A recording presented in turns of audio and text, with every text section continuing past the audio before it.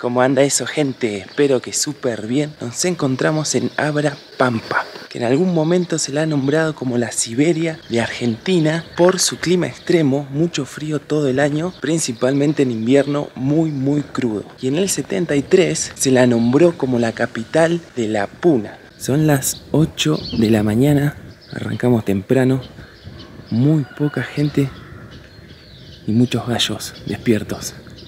Lugar muy tranquilo todo el día. Estamos yendo a la terminal de micros del lugar porque me dijeron que 8 y media sale un colectivo de la empresa Panamericano que nos va a acercar hasta la laguna de Pozuelos. Nos va a dejar en la ruta y después de ahí vamos a tener que patear un poco.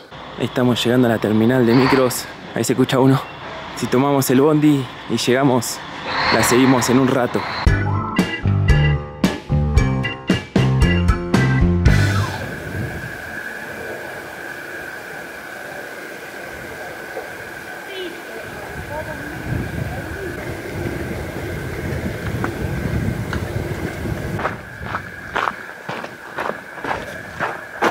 Hemos arribado a la entrada de la laguna, son las 10 de la mañana, una hora y media tardó el colectivo y hay que registrarse en la casa que se veía medio rosita. Y cuando salimos también vamos a tener que dejar asentados que lo hicimos. Y ahora comenzamos una caminata de unos 7 kilómetros, más o menos se calcula que podemos llegar a tardar una hora y media y lo hacemos a 3.600 metros sobre el nivel del mar para conocer uno de los humedales más importantes del mundo con un tamaño máximo de 15.000 hectáreas, aunque recién ahí en la entrada nos dijeron que hoy en día tiene entre 10 y 12 según la cantidad de lluvia que esté cayendo.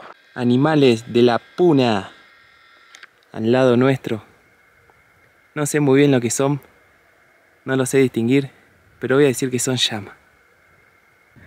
Más animalitos de la puna. Son distintos a los otros, así que voy a decir que son vicuña desde toda mi ignorancia. Todo tranqui. Buen día. Más allá de la laguna y el paisaje que está fenomenal, el principal atractivo es la cantidad de especies de aves que hay, que se calcula más o menos son unas 30. La mayoría de ellas son acuáticas y posiblemente lo más lindo son los flamencos, que sinceramente no sé si hoy en día habrá alguno. Nos estamos cruzando una banda de estos bichos que yo les digo gatas peludas. Están en todo el camino y estamos tratando de no pisarlo. La cantidad de gatas peludas que hay ahí. Una re banda. Lleno está. No se escucha absolutamente nada. Zarpado.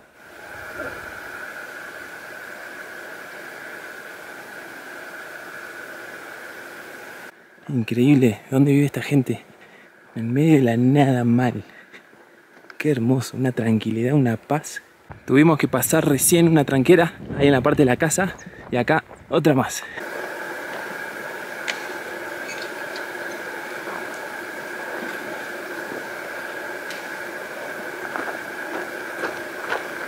Termina en estos momentos el camino para vehículos.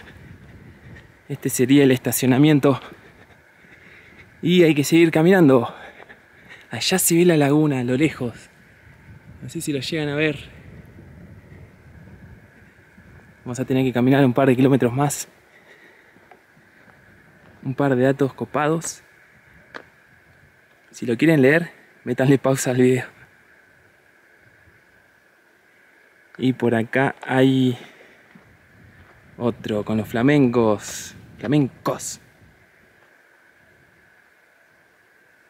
En el suelo empezaron a ver como una especie de nidos o cuevas. No sé de qué bicho será. Buenísimo. Hay varios por todos lados. Nido de algo. ¿De qué? No sé. Capaz nada que ver.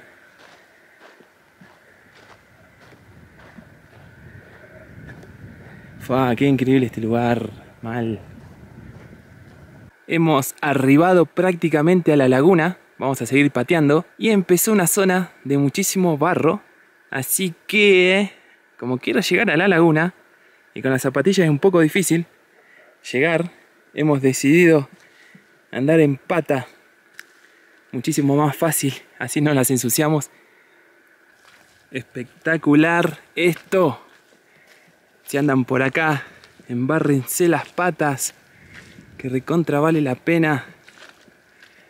Zarpado. Increíble. Me estoy deslizando en el barro en este momento. A ver si se ve cómo estoy caminando. Y así andamos. Vi una sombra de un pájaro. Ahí adelante hay un pájaro parado, me parece. Que no sé si será un flamenco. Voy a ir caminando mientras filmo. Por si se va volando. Cuesta un poco caminar por el barro. Encima, a veces hace efecto sopapa y cansa un poquito más. A ver, a ver, a ver. Vamos despacito. Sí, es un flamenco con otro pájaro. No, buenísimo. Increíble. Está acá nomás.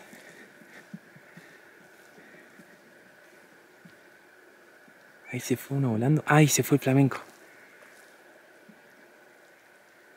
Me han escuchado.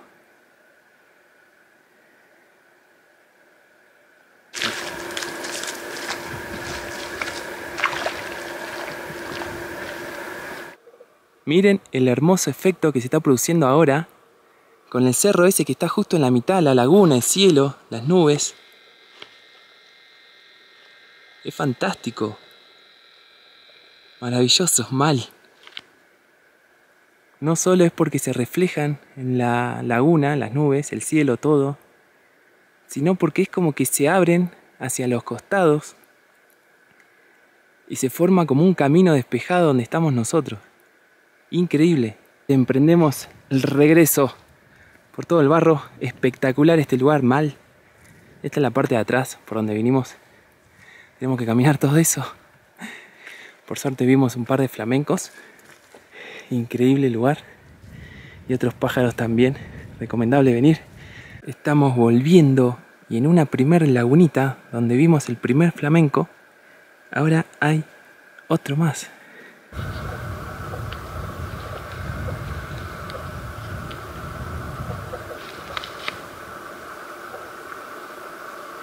Vuelta en Abra Pampa. La verdad que la laguna está fenomenal y lo mejor de todo es que cuando estaba saliendo me crucé con la chica que había bajado colectivo y llegó la guardaparque con una camioneta para hacer una especie de recorrida de control. Le preguntamos si podíamos ir con ella y nos dijo que sí. Y aparte también nos iba a llevar a la ruta, así no teníamos que caminar esos 7 kilómetros. Nos subimos y fuimos primero a un lugar donde habían unos animales que eran parecidos a llamas, pero un poco más grandes me parecieron. Tenía binoculares y nos los prestó, así que se veía re bien. Y después de ahí fuimos para la laguna, estacionó la camioneta en un lugar que parecía como una especie de playita. Nos acercamos y ahí sí había más flamencos. Filmé con el celular que lo tenía encima, la cámara quedó en la camioneta. No sé la verdad muy bien cómo se ve, pero bueno, ahí va.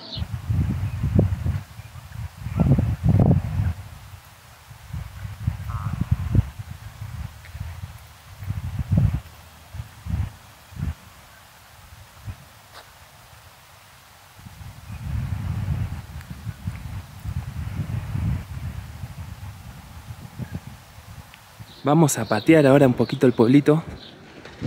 A ver qué onda. Y esta es la zona oeste del lugar.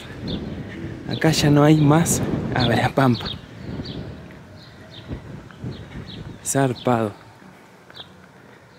Miren lo que es eso. Buenísimo. Y ese sería el norte. Es un pueblito re tranquilo, mal, y también se ve mucho adobe, como en Xavi. Igual se ve mucha más gente. Y el pueblo es bastante, bastante grande. La hermosa placita de la Pampa. Ayer estuvimos a la tarde y a la noche también. Recontra bien cuidada, mal. Hermoso lugar. Mucho rojo. Mucho amarillo. Una escultura ahí en el medio forma de cholita tiene eso. Con agua en el fondo. Linda escultura. Acá hay otra cosa que a la noche, ayer, Estaba re bien iluminado y estaba bueno. Miren qué bueno que está. Ahí está, ahí se ve un poco mejor. Imágenes del pueblito, posiblemente en su inauguración. Lindo mural.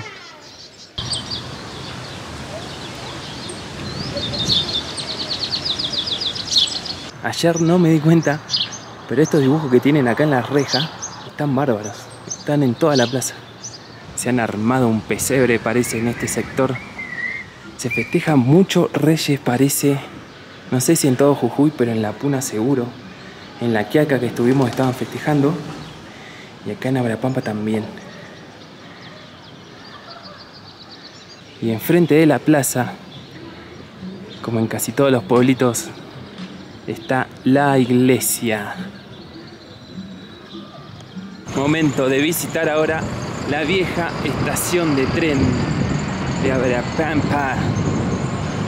Obviamente, al igual que en La Quiaca, pasaba el ramal General Belgrano hasta el 93 con pasajeros, están las vías. Y hasta el 94 con trenes de carga. Parte de la vieja estación, zarpado donde funciona la feria, ahí se ven todos los puestitos. Debe funcionar hasta el mediodía más o menos. Y el viejo predio, enorme mal. Tal vez esta sea la vieja estación. Hay ahí un cartel, un poco los kilómetros, la altura. Tenemos también los cambios de vía. Este es algo que me gusta. A ver si andan. Oh, no, no andan. No, están retrabados. Bueno, este posiblemente sea el galpón. Y ahí adelante una grúa manual, zarpado, con la que cargaban los vagones del tren de carga. Qué zarpado que está esto, los engranajes, increíble. Este cable de acero zarpado.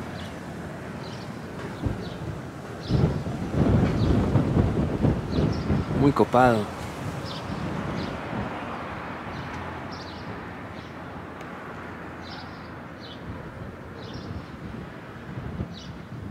Más puestos todavía de feria hay en la zona sur, digamos, de la estación. Y allá me parece que se ve el Cerro Huancar. Estoy ahora en la zona este del lugar y se ve bastante adobe en esta zona.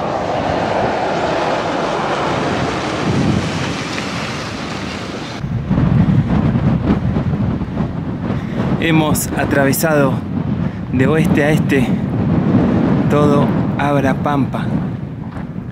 Allá me parece que está re lloviendo mal. Perritos de pueblo. Increíble, acá termina. Zarpado. Ese cerro de ahí atrás está re bueno. Esos cerros son lo que me llama la atención. Parecen como formaciones rocosas, encima le pega el sol. Les da re bien. De acá se ve mejor lo que es el Huancar, ese cerro de arena que vamos a visitar mañana. Arrancamos 10 de la mañana para ir al Huancar y vamos a tener que caminar más o menos unos 6 kilómetros. Igual eso depende desde donde estén hospedados. Ayer estuvo lloviendo toda, toda la noche. Y está todo completamente mojado. Así que el Huancar, que es un cerro de arena, un médano, seguramente esté con todo la arena mojada. Hay varios huancares en Jujuy, tal vez este sea el más famoso y se hace un deporte que se llama sandboard, que es deslizarse con una tabla. Ahora bien, si llovió y la arena está mojada, es muy difícil deslizarse, o si no llegó a secarse bien la arena. Así que tengan cuidado con eso, porque en el lugar alquilan tablas. Hemos llegado al extremo sur del pueblito y ahí adelante está el cementerio. Ya que pasamos por el cementerio, se los muestro un poco colorido como todos.